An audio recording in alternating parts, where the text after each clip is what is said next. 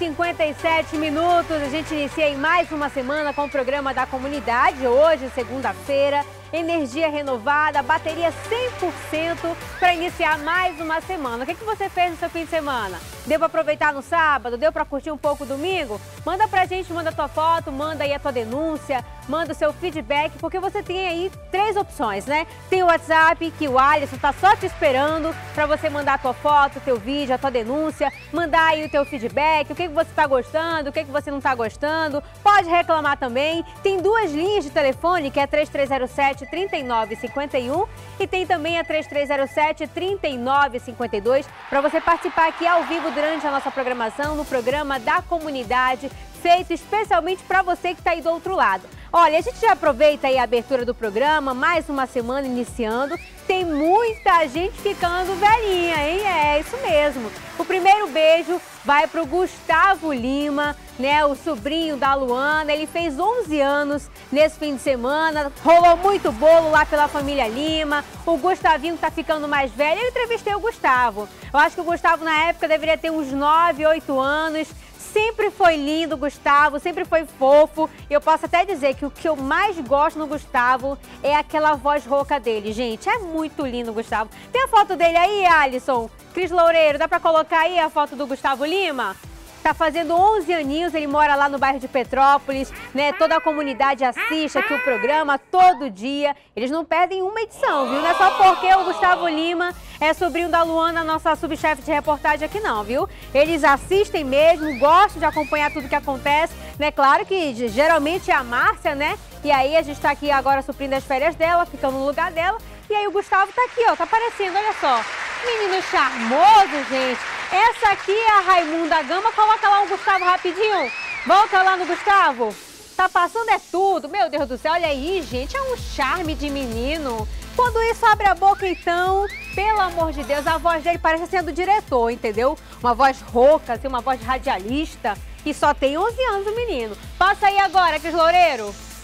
A próxima foto é da Raimunda Gama, também fez aniversário ontem, lá da Compensa, né? A minha tia querida, não deu para eu ir lá dar um pulinho, dar um feliz aniversário para ela, mas a gente está lembrando aqui no programa da comunidade um beijo, que Deus continue lhe abençoando, né? A Raimunda Gama, que mora ali na Compensa 1, sempre assiste também o programa da comunidade. E tem mais, né? A gente manda aí, aproveita o espaço para dar um beijo pro Marcelinho lá da, da Danila Ariosa, que todo dia que eu passo ali ele fala, olha, Tu não mandou um beijo pra mim, tu não mandou um abraço pra mim. Todo dia eu assisto o programa e tu não lembra de mim? Então, Marcelinho aí da Danila Areosa, todo mundo aí da, da Compensa 1, eu quero mandar um abraço e um beijo pra vocês. E não só pra vocês não, viu? Pra Zona Leste, Zona Oeste, Zona Sul da capital, aqui na área central que acompanha ali a Feira da Manaus Moderna, a Feira da Panaí, né? Os feirantes que estão trabalhando ali, estão ali tratando peixe, estão arrumando as frutas mas estão de olho no programa da comunidade. Um beijo para vocês e tem mais beijo.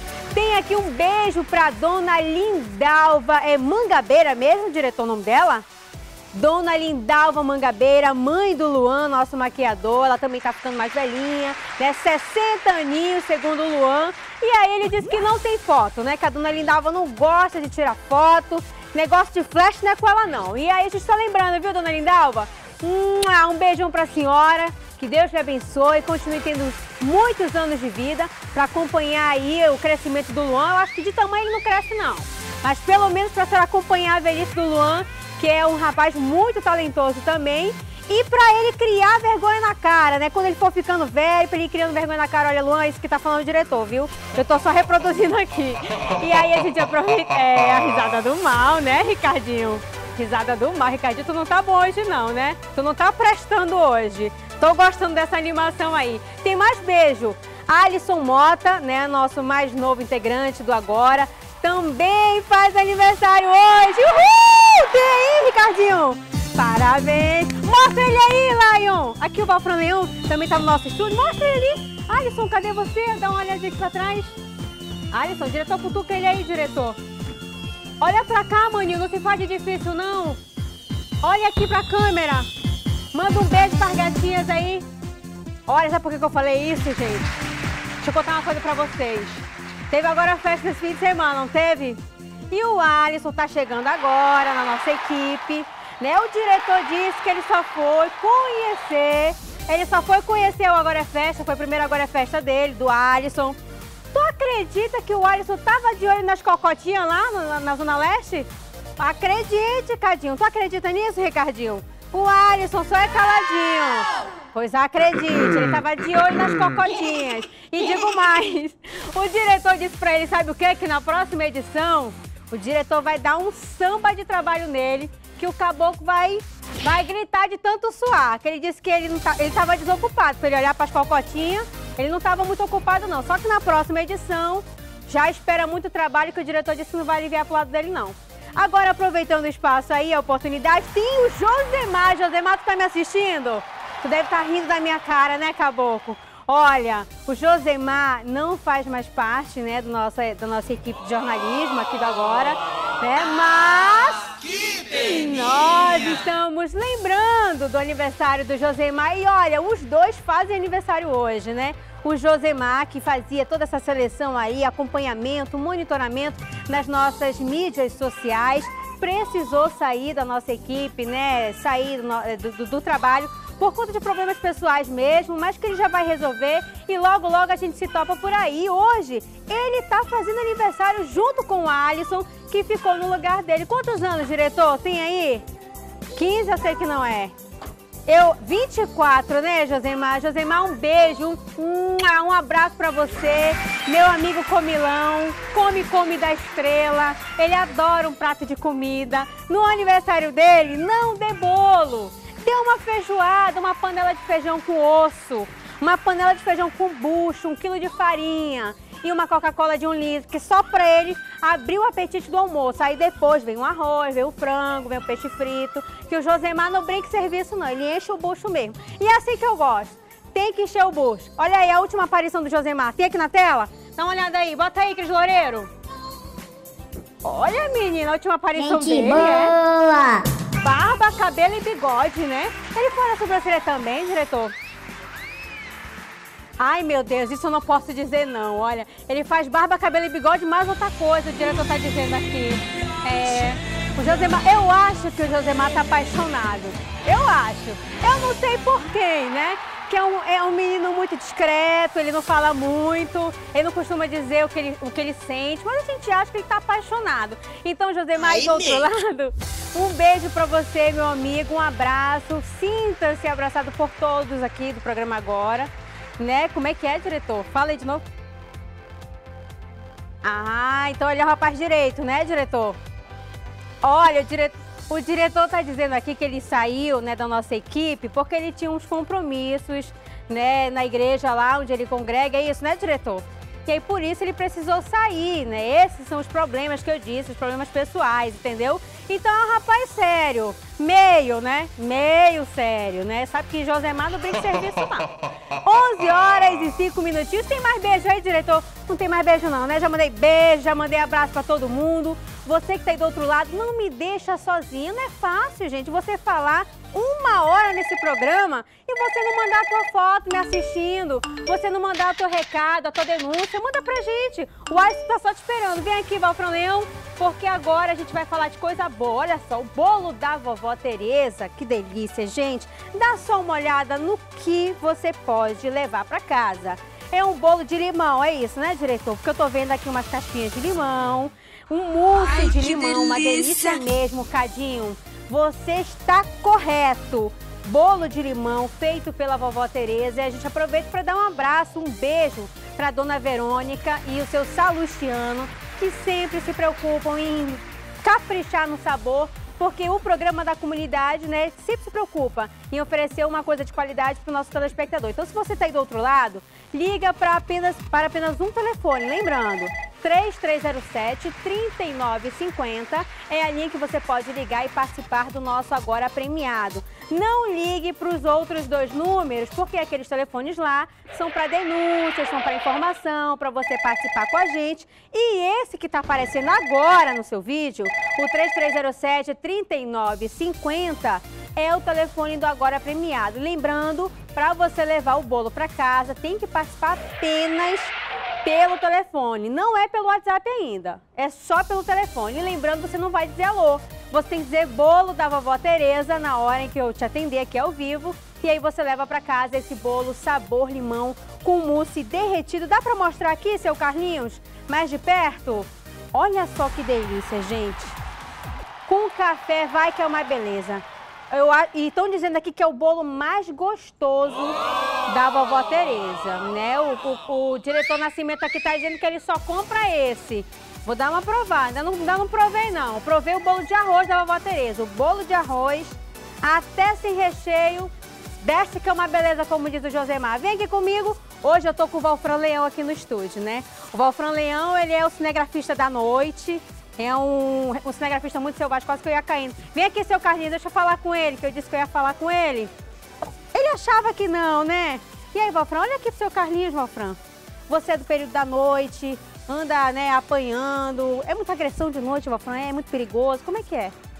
É, um pouco perigoso, né, Priscila? Mas a gente tem que, né, tem que estar tá lá, mandar informação pra gente passar para as pessoas que querem a informação no dia a dia, é. né? Agora me conta uma coisa, eu tô sabendo, olha só, repórter apontando o microfone, né? Repórter é assim mesmo, né? Fica apontando o microfone assim, achando que não, não tem o lapela. Olha pra câmera ali, ah, eu é diretor, eu tenho que olhar aqui pro seu Carlinhos. Eu fiquei sabendo que o Valfran Leão, eu chamo ele de Lion, né? O Valfran Leão estava soltinho no Agora é Festa. Danado, que é uma beleza. Que história é esta, Valfran? Isso, quem estava soltinho era o marqueador. O marqueador estava soltinho. Como que é o nome dele? É o... Agora... É o Luan? Luan. Luan, Luan Caboclo. Tu tá vendo Luan aí, Caboclo? Tu tá no camarim, né? Tu... Olha, estão dizendo que agora tu tá esquecendo o nome. Diretor, pode falar aqui. Como que é a conversa aí? Tu esquece o nome do maquiador agora, Luan? Ah, Ei, Valfran? Deu um branco aqui, né?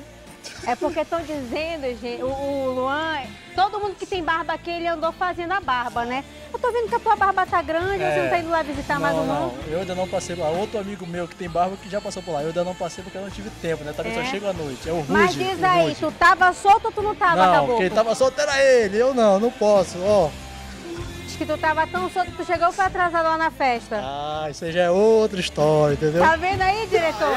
Tá vendo? Depois tu acerta ele. Deixa eu deixar aqui o microfone. Ne... Diretor, olha só, o diretor tá dizendo que tu tá ferrado pra não dizer outra coisa, viu? Depois tu se acerta. Gente, segunda-feira, iniciando mais uma semana. É uma honra poder iniciar essa semana com você aqui na comunidade. E mais uma vez, manda o teu feedback pra gente, manda o teu retorno, a tua denúncia pelo nosso WhatsApp e pelos nossos telefones. E lembrando, hoje nós teremos transmissão ao vivo pelo Facebook. Então, se você tá ligado na televisão, clica na página Amazonas em Tempo e aí você vai assistir em tempo real a transmissão também pelo Facebook. Às vezes você precisa sair de casa, ainda esqueceu de comprar o arroz, vai no supermercado comprar o arroz, Vai lá pro celular, coloca na página Amazonas em Tempo, fone de ouvido, mas muito cuidado, viu? No trânsito é perigoso esse negócio aí. Coloca na Amazonas em Tempo e você vai assistir o programa em tempo real, dá para sair de casa, porque agora o programa te acompanha também pelo Facebook, tá certo? E durante a programação a gente vai estar tá, né, entrando em contato, conversando. Durante os intervalos, que a gente sempre chama, eu continuo online falando com a galera do Facebook, lendo os comentários, mandando beijo, abraço, lendo também as sugestões de quem participa pela página do Facebook. E olha, é uma oportunidade, né?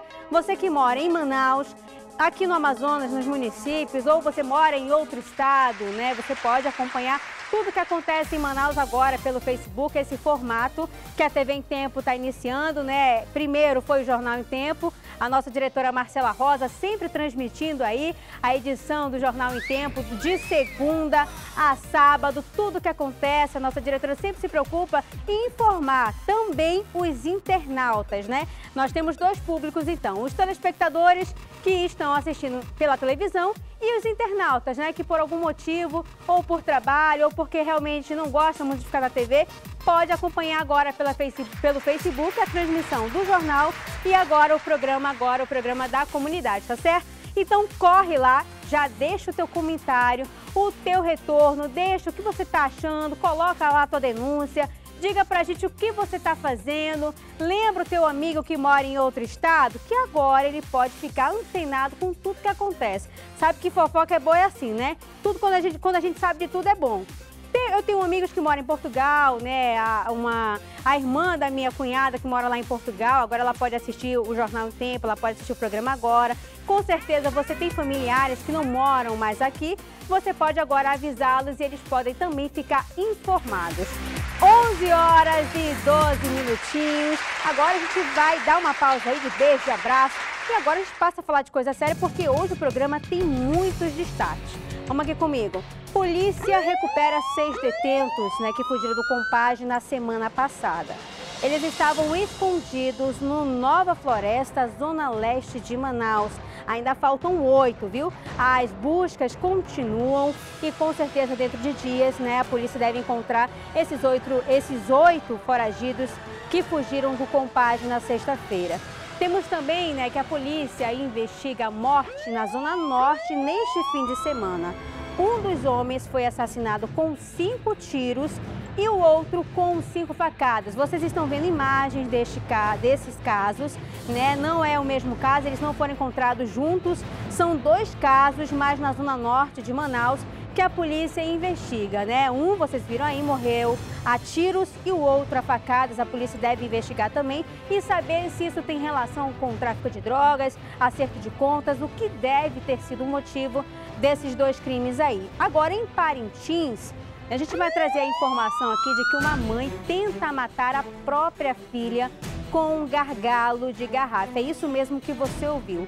A mãe tentou tirar a vida aí da filha com um gargalo de garrafa. Você vai saber o motivo e os detalhes desse caso. Vocês estão vendo imagens aí da filha dessa senhora, né, que infelizmente por pouco não morreu. E nós vamos trazer direto né, as informações com o Tadeu de, Seu, de Souza. E aí a gente tem também comunidade, assunto de comunidade do Amazonino Mendes. Qual é o problema dessa vez? Os moradores reclamam de bueiros a céu aberto, falta de iluminação e buraqueira nas ruas. Não é de hoje que eles reclamam desses problemas, né? Não é mês passado, não começou mês passado, não tem um ano, não tem dois anos que esses problemas estão por lá, tirando a paz e a segurança de quem mora nessa área aí. Né? O problema já dura há 10 anos e vocês estão vendo aí imagens da situação dessa comunidade. Bueiros a céu aberto, né? Oferecendo risco para crianças que passam ali durante chuva, durante ainda mais nesse período né, de inverno amazônico, que as chuvas devem aumentar.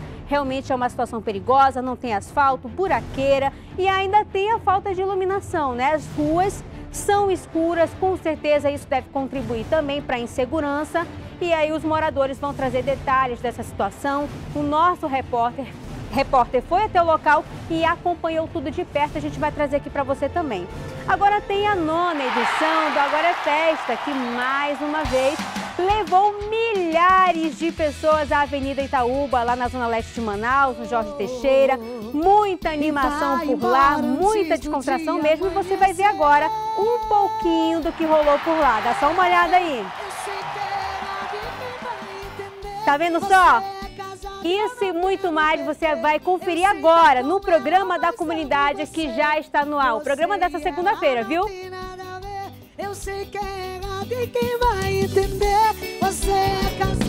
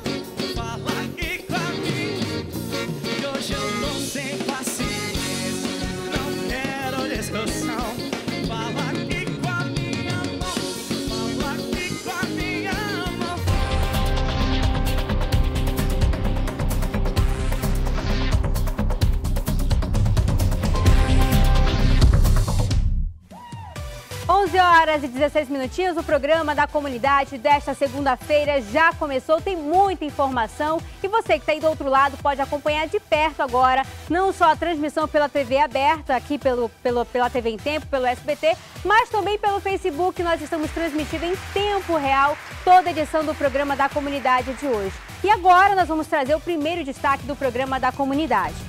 11 horas e 17 minutinhos, seis dos 14 fugitivos do Compage foram recapturados né, no bairro Nova Floresta, na zona leste de Manaus. Oito fugitivos ainda estão sendo procurados. Nós vamos trazer agora os detalhes deste caso com o Bruno Fonseca. Vem aqui comigo. Leonardo Jordão, Michel Wendel, Adelson Conceição, Demétrio Antônio, Fabrício da Silva e Florencio Nascimento foram recapturados no fim da noite de sexta-feira. Policiais da 30 SICOM estavam em patrulhamento pela Avenida Itaúba quando foram informados que seis dos 14 foragidos estavam em uma estância aqui na Rua do Bronze, no Nova Floresta, também na Zona Leste. Segundo a polícia, um dos foragidos, o Florencio Barros, estava com uma pistola 380 e duas munições intactas. Foi encontrada também no local uma certa quantidade de maconha. Eles foram encaminhados ao 14º DIP e também vão voltar ao presídio. Os detentos fugiram do compagem na madrugada de sexta-feira. Eles cerraram as grades das celas 5 e 6 do pavilhão 1 e usaram uma corda para escalar a muralha do presídio. Durante a fuga, houve troca de tiros entre os detentos e um policial que estava de guarda. Os seis recapturados estão com lesões da fuga. A polícia ainda procura os oito fugitivos. Então tá aí, o Bruno Fonseca trazendo essas informações de, de, da fuga de 14 detentos na sexta-feira. Mas a gente tem uma outra informação agora que a SEAP nos informou que outros seis detentos tentaram fugir do compage, né, mas eles foram recapturados ainda no próprio sábado, na própria sexta-feira, na verdade. Seis detentos tentaram fugir, outros seis, tá, gente? Foram 14 na sexta-feira e outros seis, que no caso seriam 20 fugitivos, eles tentaram fugir na noite da sexta-feira e no mesmo dia eles foram aí recapturados por policiais ali da área que fazia o patrulhamento. Eles estavam em um ramal que dá acesso à unidade prisional. Esses seis que fugiram na noite de sexta-feira. E aí eles foram recapturados, teve troca de tiros entre eles, aí os, os fugitivos e os policiais, mas eles foram recapturados e agora eles continuam cumprindo pena lá no complexo penitenciário Onísio Jobim, ali na BR-174, né? E a gente lembra mais uma vez que esse caso tem sido comum aqui na capital. A Secretaria de Segurança sempre faz revistas, né, tentando impedir essas fugas em massas e mesmo assim os detentos ficam maquinando, né, dando um jeitinho de fugir ali do complexo, achando que vai conseguir viver em liberdade, mesmo depois de ter cometido um crime. Porque se eles estão ali, é porque alguma acusação pesa sobre eles. E aí é esse trabalho de revista da Secretaria de Administração Penitenciária que tenta evitar essas fugas em massas, né, a gente percebe que é um trabalho incansável.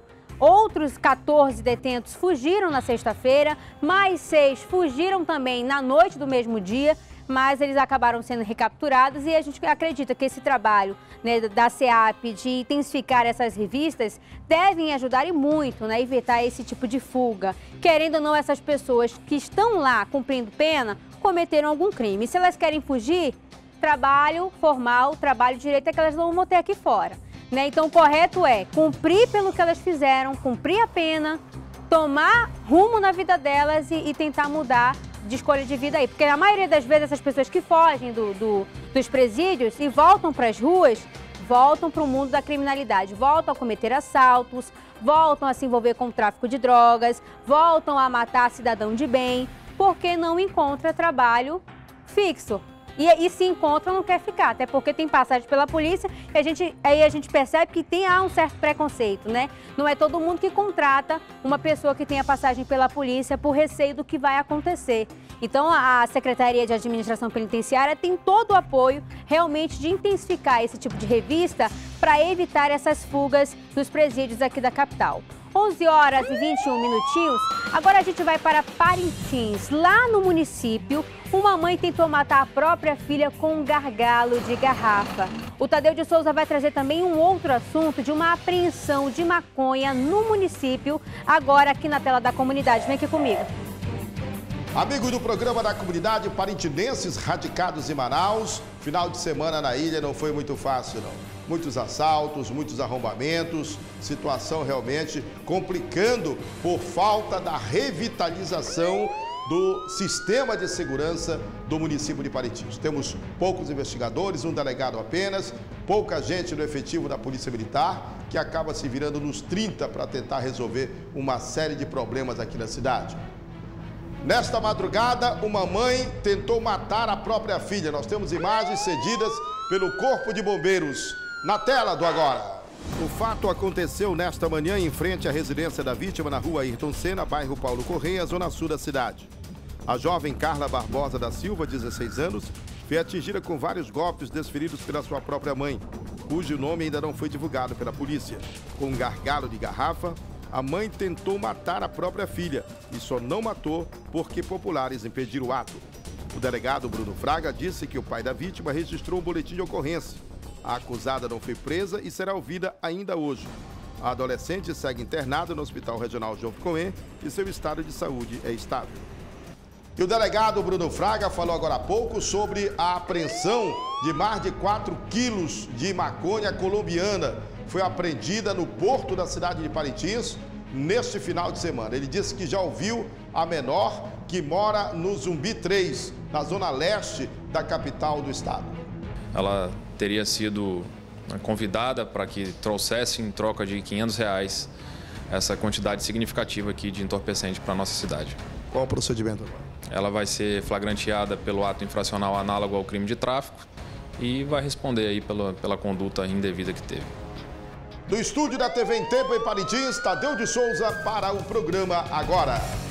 Muito obrigada, Tadeu. Então, mais esse caso de polícia lá de Parintins. A gente já iniciou então o programa de hoje, trazendo as informações dos detentos dos 14 que fugiram do Compage. Seis foram recapturados e agora esse caso aí lá de Parintins, em que a mãe tentou matar a própria filha com um gargalo de garrafa e essa adolescente aí que foi apreendida com uma quantidade significativa de maconha. São 11 horas e 24 minutinhos. Você que está aí do outro lado, a gente vai para o intervalo agora. Não sai daí, porque eu vou te encontrar agora, sabe aonde? Lá no Facebook, na transmissão em tempo real do programa da comunidade. Não sai daí, a gente vai para o intervalo, mas eu continuo aqui falando com você pelo Facebook agora, tá certo? Vamos lá.